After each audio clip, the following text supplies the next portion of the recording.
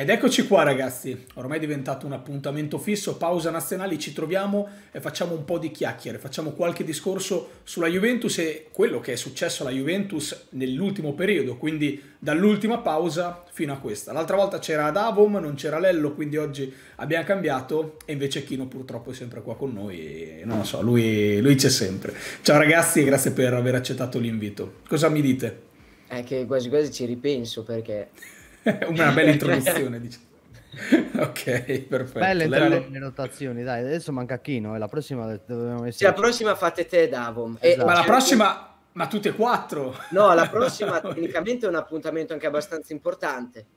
E tra l'altro è alla fine di dicembre praticamente la prossima pausa. Sì, eh, pausa casca proprio con quel periodo lì, eh, a meno che non, non, decidano effettivamente di fare questa Supercoppa il 22, ma eh, a quanto pare no, eh, si va verso l'invio. Sì, aspettiamo conferme. Aspettiamo conferme. Sì, Vabbè, questo è un problema dei Kinoshi, Toselli e Colpo Gobbo del futuro, non, non, di quelli del presente. Come sempre ci sono i canali dei ragazzi taggati, nella descrizione di questo video fate un salto anche sui loro canali perché quotidianamente al mio pari pubblicano, sforano tanti contenuti interessanti. E dato che l'altra volta non c'era Lello ma c'era Kino, io Kino ti rifaccio la stessa domanda anche se tu eri stato già molto veramente previdente, avevi visto il futuro. Tu, no, eh, tu era anche. Era anche una mezza gufata in realtà, okay. solo che purtroppo la situazione non era delle migliori, adesso probabilmente è ancora peggio, però dato che so la domanda, prego. Allora, la domanda è la seguente. Firmeresti oggi per arrivare nelle prime quattro per vincere Coppa Italia e Supercoppa e quindi rinunciare definitivamente al discorso scudetto, secondo posto, terzo posto, arrivi nelle prime quattro, quello che è. L'altra volta, in realtà, devo dire la verità, c'era anche il discorso Champions, io lo vorrei lasciare fuori in questo momento il discorso Champions perché non è che possiamo rassegnarci a tutto e quindi ad oggi firmereste per le prime quattro e due trofei? Io l'altra volta avevo detto di no, avevo ancora lo scudetto in testa, ad oggi io firmo, devo dire la verità. Però ti, ti ricordi anche quello che dissi. Firmo, Te volevi un percorso. Ecco, firmo se però c'è anche un, un, una costruzione, no? delle fondamenta che ti possano dare la possibilità di guardare al 2022-2023 con un occhio di, di fiducia che in un qualche modo esula dal calciomercato che quello è imprevedibile ad oggi come lo era un mese fa. E ti dico, adesso ci metto anche una rasata zero, ecco, se prima mi limitavo a firmare basta, adesso... Attenzione, eh? attenzione. Lello, te che la rasata zero ce l'hai, firmi, ti rasi di più, cosa vuoi fare? È, è una firma, colpo gobbo, figa, ma quando l'ha fatto questo?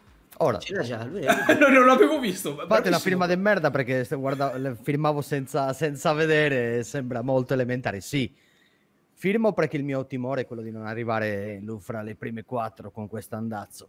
Serve qualche svolta, serve qualcosa, per, ad oggi ti dico firmo. Io ho fatto, eh, qualcuno se si vede il canale, la prediction che ho fatto, ho messo prima la Juve, ma c'era ancora Ronaldo in squadra. Beh, certo, eh. c'eravamo con, da Davom anche, esatto. Però io adesso vi dico questa cosa, firmando ora, noi stiamo dicendo che ci va bene e bene o male nelle prime quattro ad oggi significa quarto posto perché Milan, Napoli e Inter sono su. Stiamo dicendo che al 9-11 andiamo a firmare una replica precisa esatta della stessa stagione che aveva fatto Pirlo l'anno scorso, che avevamo definito fallimentare, ma con Allegri in panchina e non Ronaldo ma Locatelli, che anche qua torniamo in quel discorso che avevamo fatto, chi non ti ricordi. Quindi vuol dire che ad oggi ci andrebbe bene replicare quella che negli ultimi dieci anni è stata la stagione peggiore della Juventus e saremo contenti a fine anno di questo. Poi c'è il discorso Champions e ci arriviamo dopo. È grave questa cosa? Secondo me sì. È molto grave. È grave. È grave? È, grave. È, grave. È, grave. è, più grave pensandoci a questa cosa che... Perché prima magari dici ad oggi il quarto posto mi andrebbe bene, due trofei. È più grave pensando che firmiamo per rifare la stagione dell'anno scorso? Secondo me sì. Sì, eh, guarda, qui secondo me torna ancora più utile il discorso appena fatto. Firmi per una cosa grave, ma se ti dà la certezza che dall'anno prossimo avrai una Juve che è la Juve, perché magari nel corso di questa stagione si acquisisce soprattutto quella testa necessaria per essere alla Juventus, guarda, è il solito discorso di prima. Ti hai detto una cosa estremamente giusta ma è quel sacrificio che ad oggi, anche per forza di cose, sono disposto a fare.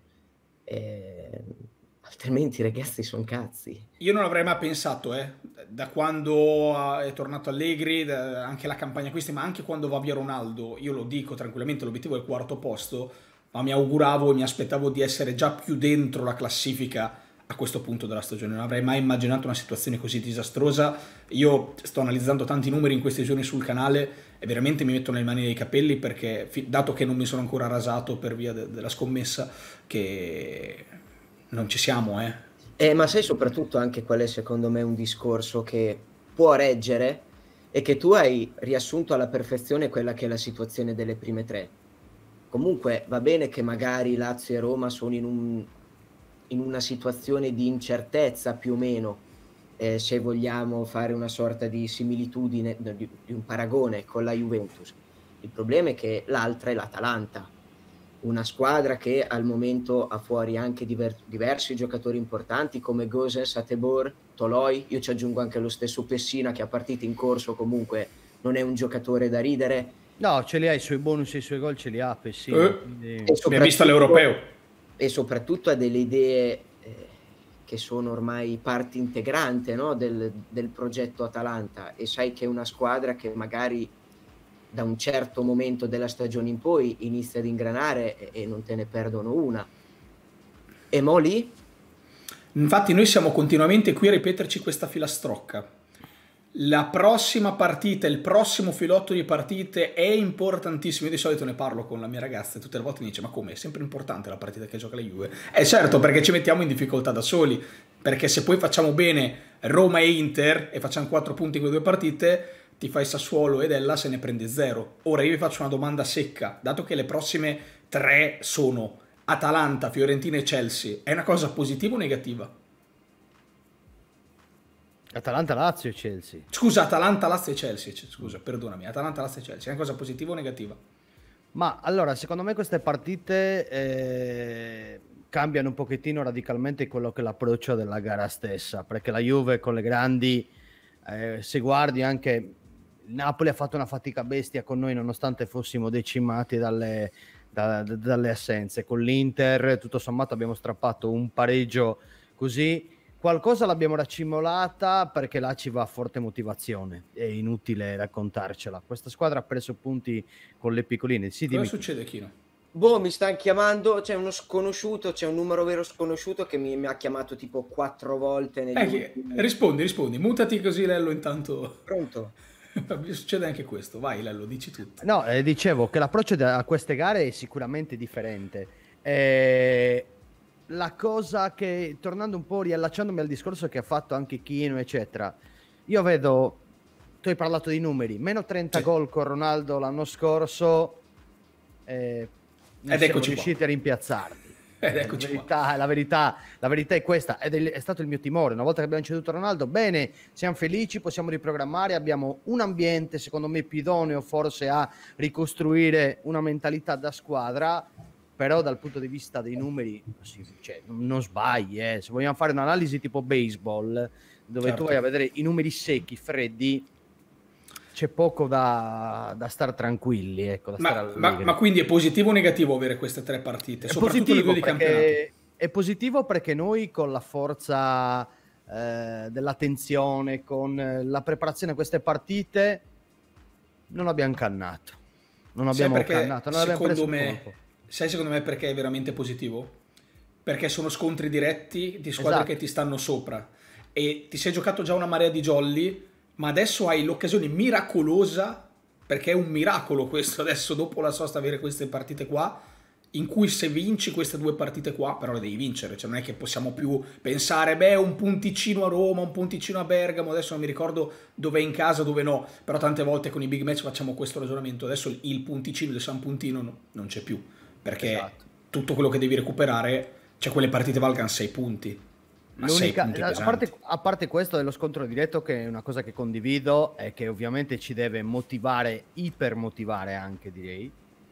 Abbiamo anche, secondo me, rispetto agli inizi, preso atto del fatto che ci siano certe squadre che sono anche dei boomerang impazziti che possono togliere punti a manca a destra. E questa è una cosa anche positiva in vista di un'eventuale spinta eh, per, queste, per queste partite. Per cui queste dobbiamo approcciarle bene, consci anche del fatto che le grandi squadre che stanno fallendo poco, qualcosa per strada la lasceranno. E arriverà poi un momento critico per tutte. Vediamo poi come lo, come lo affronteranno. Allora, io vorrei, dato che siamo ancora in tema campionato, passare a parlare degli expected goals. Tra l'altro, eh, gli expected goals, vi ho mandato una tabellina che adesso proviamo a mettere in sovraimpressione. Questa che cos'è? Questa è un po' una tabella riassuntiva di tutte quelle che sono state le partite da Juventus in campionato. Partita nella prima colonna, gol fatti, gol subiti, expected goals fatti e quelli subiti. Cosa possiamo osservare da qua? Possiamo osservare che, vabbè, la cosa principale, noi abbiamo fatto 16 gol in, non mi ricordo, 12 partite e ne abbiamo subiti 15. Già questi sono dati tremendi per la Juventus. Avremmo dovuto farne, secondo la statistica degli expected goal, 20 e avremmo dovuto subirne 14-42. Quindi direi che sotto la fase difensiva ci siamo beccati quello che ci meritavamo, quindi zitti muti, questo era quello che ci meritavamo.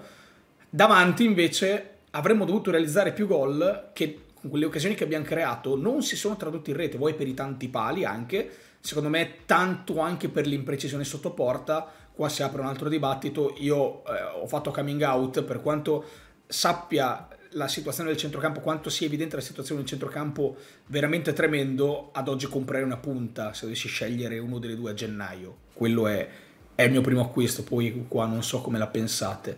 E la cosa che mi fa veramente impressione è vedere come contro Napoli, Milan e Inter, ora Napoli teniamolo da parte perché l'abbiamo detto, l'ha detto prima Lello, eravamo decimati, ma contro il Milan e contro l'Inter, expected goals subiti 1,05 con il Milan in casa e 0,96 San Siro. Non abbiamo mai rischiato niente. Con la Fiorentina non abbiamo mai rischiato niente.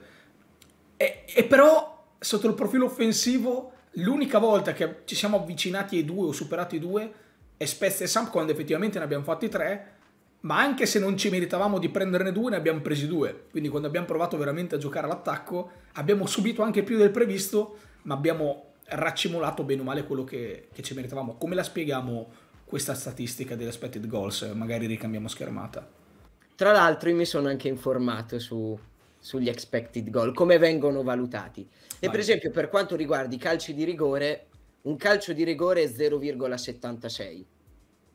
Perché come si calcolano gli, gli, gli expected goal con praticamente eh, tiri presi in esame nei maggiori 5 campionati europei e si parla di migliaia di tiri e in base a quello che è l'esito la maggior parte di quelle volte per quanto riguarda quel genere di tiri si sa con, qua, con quale percentuale finiscono in porta. Quindi già per esempio per quanto riguarda i rigori, eh, due presi, cioè due a favore e due contro, certo. già lì si parla per esempio di un 1,50 e un 1,50 a grandi linee. E la domanda iniziale qual era? No, era dirmi la tua opinione a proposito ah, di, dei numeri che abbiamo mia, visto. Sì, dirmi la mia opinione. Eh, molto, secondo me, in questo periodo della stagione è anche purtroppo attribuibile a una carenza di un numero 9 che ti dà una certa affidabilità sotto porta. Perché, per esempio, anche proprio contro il Sassuolo, eh, adesso non mi ricordo quali, quanti erano gli, gli expected goal. Ma erano bassi. Abbiamo fatto un bellissimo primo tempo senza mai tirare in porta. E infatti i numeri traducono che non sei mai stato pericoloso. Hai fatto sì un buon giro palla discreto. Ma... E, e, e la cosa assurda è che nei primi dieci minuti Morata aveva due volte certo. la palla solo davanti alla porta, ma non ha mai tirato. Certo, perché Quindi... se non tiri non puoi aumentare l'indice di pericolosità. Che sarebbe stata anche elevata vedendo no, la sì. posizione da dove avrebbe effettivamente effettuato il tiro. Quindi molto sì, anche riconducibile a quello, come hai detto giustamente te. Eh, non so se in queste mh, statistiche eh, i pali vengono considerati tiri in porta. Perché... Eh, non lo so neanche io come viene calcolato effettivamente, c'è un algoritmo probabilmente dietro. Secondo me vale, che ne so, magari 0,5 se il rigore è 0,7, 0,75. Perché per esempio con, con l'Udinese ne hai presi due oltre eh sì. i due gol fatti e, e, anche in questo caso non mi ricordo la, eravamo la... bassi anche con l'Udinese presa anche eh? con la Fiorentina per esempio la traversa sì. di Chiesa eh, eh, ne abbiamo prese tipo 4-5 nelle ultime 4-5 giornate di pale traverse però ragazzi che non c'è neanche negli expected goals giustamente un ultimo passaggio sbagliato facile facile che mette in porta eh, perché là secondo me la statistica sarebbe ancora più cattiva nei confronti della Juve sì, perché beh, sì perché effettivamente è, è basato sui tiri in porta. Sì, effettuati, sui tiri quindi, effettuati. Quindi nel momento in cui tu in porta non tiri, fanno fatica a darti... Sì, ma quindi questa cosa peggiora ulteriormente la nostra cosa, perché solo con i tiri dovremmo averne fatti 4 in più. Con i tiri. Se mettiamo che abbiamo anche sbagliato tanti passaggi davanti alla porta, siamo arrivati davanti alla porta, non abbiamo mai tirato, siamo ancora più sterili, significa questo. Eh, ma non viene calcolato quello. Ma fondamentalmente ehm, più che l'aggrava ancora di più secondo me ribadisce e basta il concetto che tu sotto porta sei sterile. Eh, sì, nel senso eh, è una statistica che ti fa capire quanto avresti potuto in realtà, ma di fatto che tu sotto porta eh, non c'hai quella cattiveria che in realtà serve, soprattutto se giochi contro avversari che alla prima ti purgano, è una cosa che purtroppo abbiamo visto senza la necessità di andare a ad osservare queste statistiche che ci danno la possibilità di avere solo che delle conferme. C'era un coglione allo stadio per Juve Empoli col cartello Uniz Ronaldo. Vorrei sapere adesso cosa ne pensa, dato che non facciamo gol neanche per sbaglio. Quella testa di cazzo là. Che cazzo ne è Uniz Ronaldo? Ho visto che è diventato un meme virale. È la eh, testa visto, di minchia. L'ho visto in tante pagine, anche estere, devo dire. Ha fatto Ma sì, poi c'ha la faccia da coglione anche, proprio una roba incredibile. e niente, anche pa- la sorella di Ronaldo l'ha condiviso. Quindi... Pensa a te quella testa di cazzo che, che, giro che ha fatto. E parlando di Ronaldo, dato che Ronaldo è l'uomo Champions, passiamo al punto. Oh, finalmente dopo tanta merda che ci siamo tirati addosso in Champions, invece quest'anno è, è, è la follia. Andiamo male in Serie A, andiamo bene in Champions. Champions, cosa ci aspettiamo da sta Champions? la Champions mi fa incazzare tremendamente a me. Perfetto, abbiamo detto che dovevamo essere felici, invece lei lo incazza. No, mi fa vai. incazzare perché là la Juve, la Juve impatta molto bene alle gare. Anche per esempio l'impostazione che ha dato con lo Zenit, un'aggressione alta, un recupero palla. Là abbiamo fatto 4 gol, però secondo me ne potevamo fare altri 5. Là gli expected goal secondo me volavano, volavano uh, rispetto a, alla media nazionale. Ah? Non ho il dato purtroppo. Eh, non è però... il dato, ma io ti dico anche eh, col Chelsea, secondo me si avvicini ai due, perché là sbaglia Bernardeschi lì vicino alla porta, c'è stata uh, qualche azione pericolosa, siamo stati pericolosi e il Chelsea è stato inoffensivo, inoperoso là davanti. E quindi mi fa arrabbiare perché è tutta questione alla fine tanto di testa, ma anche di, di di fare le cose tatticamente. Perché non le facciamo. Con, con, la Fiorentina non abbiamo fatto una mazza fino all'espulsione di Milenkovic. E la Juve ha la possibilità fisicamente e eh, eh, per organico di aggredirle un po' le partite non di giocare con questa apatia. Al di là del fatto che segniamo poco e questo è un dato di fatto abbiamo anche con gli expected goal eh, a 20 gol supponiamo che la Juventus non è sterile e riesce a eh, portare a casa tutto. Siamo dietro comunque la Fiorentina, mi pare, dal punto di vista sì, del cioè, e questo è il numero. Con, eh. con 20 la superiamo, però non con è 20 la superi, ma siamo lì, non è quello la Roma e la Lazio, sì. cioè, e questo è il dato. Quindi la Champions mi fa incazzare perché è una Juve a due facce. A me fa incazzare anche internamente la Champions vedere la partita che abbiamo fatto con lo Zenit a San Pietroburgo e quella che abbiamo fatto con lo Zenit a Torino è normale che là devi vincerla soffrendo come un cane, sbagliando tutti i passaggi, gli stop con quella zuccata di Kuluseschi e a Torino non gli fai vedere il pallone neanche per sbaglio? Lì, lì, lì, secondo me è stata una reazione completamente nervosa dovuta al ritiro. Eh, però io li metterei in ritiro più spesso se questa è... eh, però poi perde efficacia, cioè, ovviamente. Sì, è chiaro. So perché... che non sei serio, ma... Sì, ovviamente eh, serve un po' più di cattiveria, serve secondo me anche responsabilizzare di più i... Perché ti dico questo anche, quando parla Allegri dei giovani, dei vari giovani, a me dà quasi fastidio perché pare che nell'essere giovane puoi permetterti di sbagliare. E invece no, cacchio, tu sei un leader della squadra. Chico Chiesa ormai è un leader, punto. Beh, Chiesa, Chiesa, però non è un giovane. Eh, cioè, vabbè, non, non è più giovani che di, eh, gio- colui quando parla di giovani non sanno cosa significa essere la Juventus. Lo sanno e che possono anche sbagliare, ma tu quelli là li devi responsabilizzare, altrimenti nelle partite che cannano si nasconderanno sempre dietro l'essere giovani. Eh, io ti dico, io, io Kuluseschi l'anno scorso l'ho giustificato tanto. Prima stagione che viene alla Juve, seconda di Serie A, è un classe 2000, un allenatore che non ha mai allenato. Ci sta che mi sbagli. Quest'anno sono già molto più severo. Stessa cosa con Ken, perché comunque Ken le ha già fatte queste cose.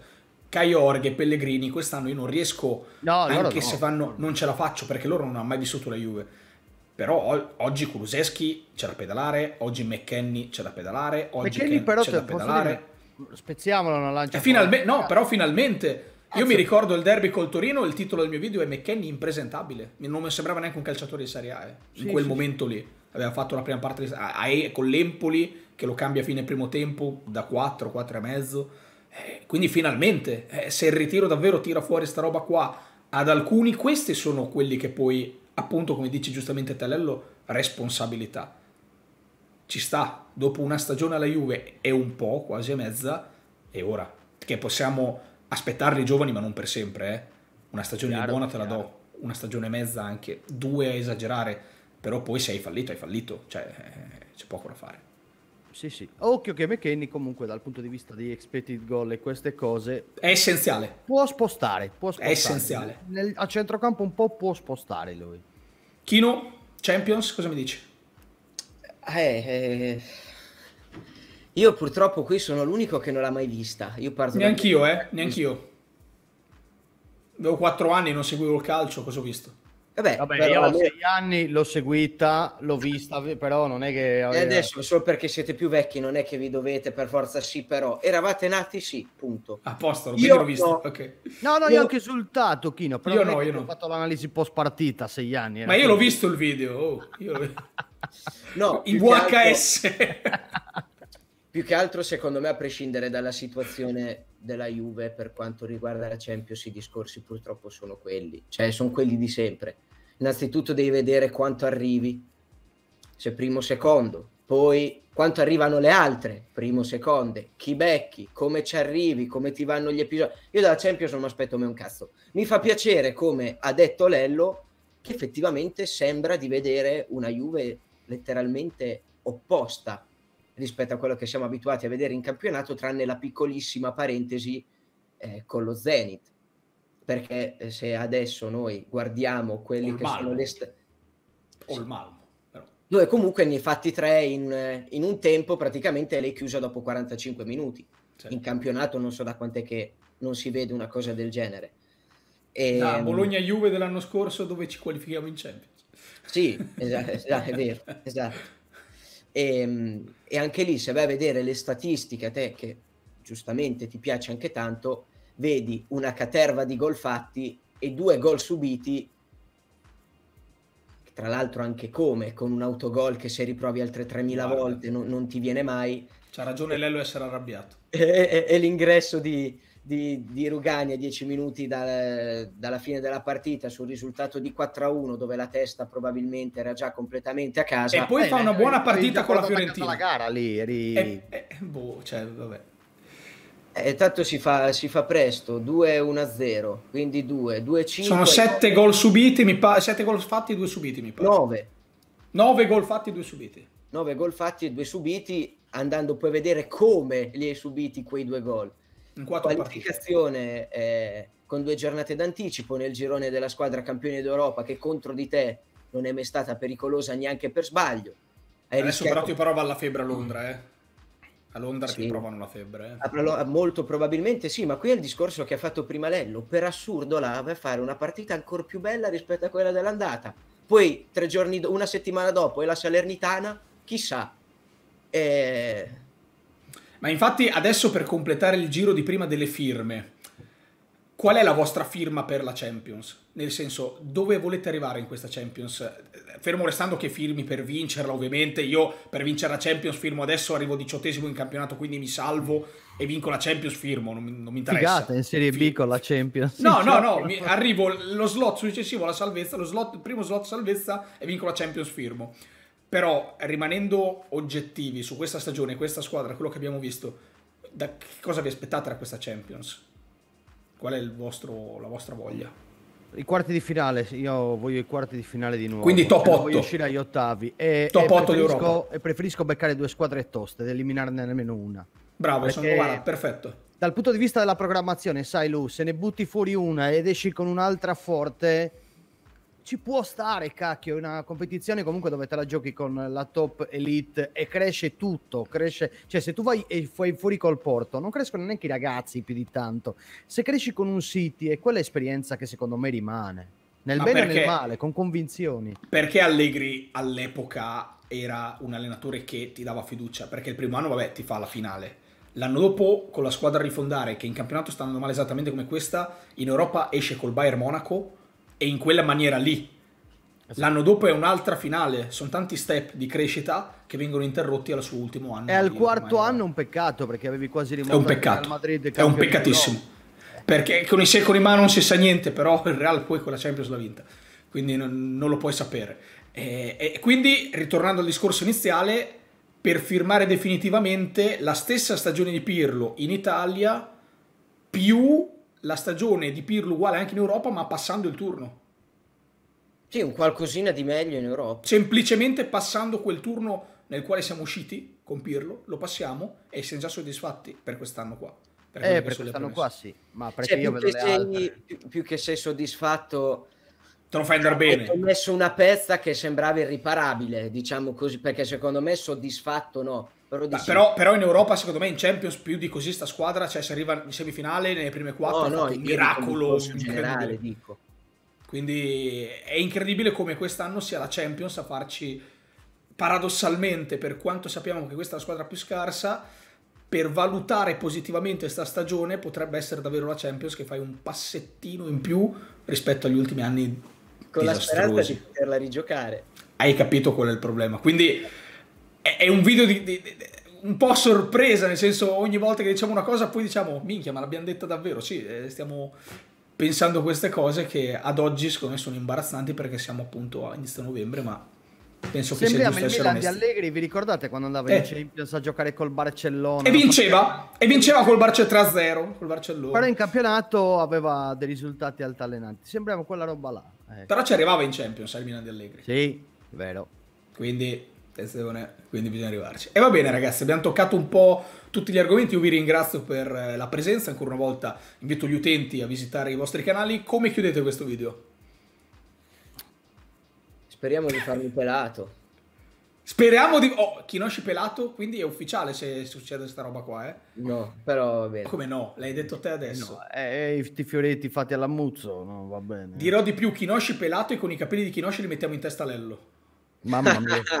Mi sembra veramente che mi abbiano lanciato da qualche parte, non lo so. No, io mi, au- mi, auspico che la prossima domanda è: firmeresti per il secondo posto? Significa che siamo magari già un po' quarti, eh, terzi? Eh, no, significa che saremo ubriachi al tuo matrimonio e quindi dici, oh, lo fi- però, però, posso dirti una cosa: da eh. tifoso eh. della Juventus, dirti sì, firmo per il secondo posto mi darebbe una fastidio incredibile. E oggi ti ho detto che firmo per il quarto eh. per far capire la dimensione. Firmare per il eh, secondo vabbè, posto ma, guarda, è aberrante. Dico, la, la, presa di coscienza è la prima... Uh, il primo passo per risolvere determinati problemi. Io credo che quest'anno, ma cioè, eh, o metti mano a quella rosa là, è inutile che stai a cambiare il joypad. Eh, cambiamo gli allenatori tutti gli anni, tutti gli anni, cambiamo eh. allenatore tutti gli anni, ma giochiamo con Rabiot. Ma i tifosi ricascano spesso. E Bisogna fare l'analisi seria dei giocatori, della qualità dei gol che vanno via, se volete fare già un'analisi con i numeri avete già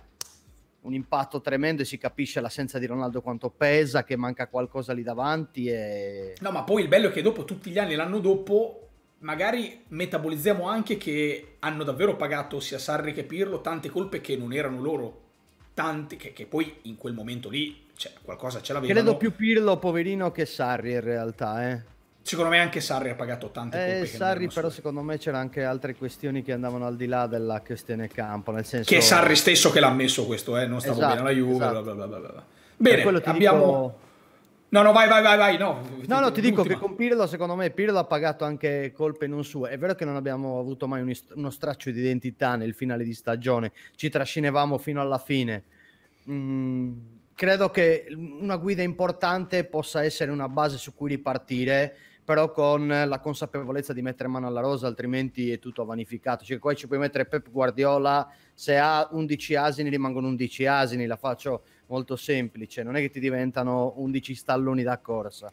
Ci tengo a precisare asini. perché sennò so come va a finire. No, quando l'anno scorso no, no, no, no, no, no, quando l'anno scorso ho fatto il video, secondo me Pirlo va cambiato a fine stagione, in quel video dico non è più l'unico colpevole.